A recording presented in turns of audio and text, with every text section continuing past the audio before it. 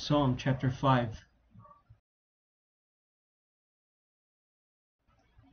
To the chief musician upon Nehiloth, Psalm of David. Give ear to my words, O Lord, consider my meditation.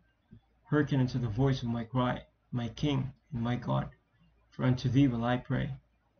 My voice shalt thou hear in the morning, O Lord. In the morning will I direct my prayer unto thee, and will look up. For thou art not a God that hath pleasure in wickedness, neither shall evil dwell with thee. The foolish shall not stand in thy sight. Thou hatest all workers of iniquity. Thou shalt destroy them that speak leasing. The Lord will abhor the bloody and deceitful man. But as for me, I will come to thy house in the multitude of thy mercy, and in thy fear will I worship toward the holy temple. Lead me, O Lord, in thy righteousness because of mine enemies. Make thy way straight before my face. For there is no faithfulness in their mouth, their inward part is very wickedness. Their throat is an open sepulchre, they flatter with their tongue. Destroy thou them, O God, let them fall by their own counsels. Cast them out in the multitude of their transgressions, for they have rebelled against thee.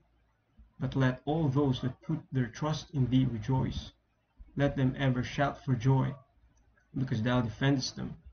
Let them also that love thy name be joyful in thee. For thou, Lord, wilt bless the righteous, with favour wilt thou compass him as with a shield.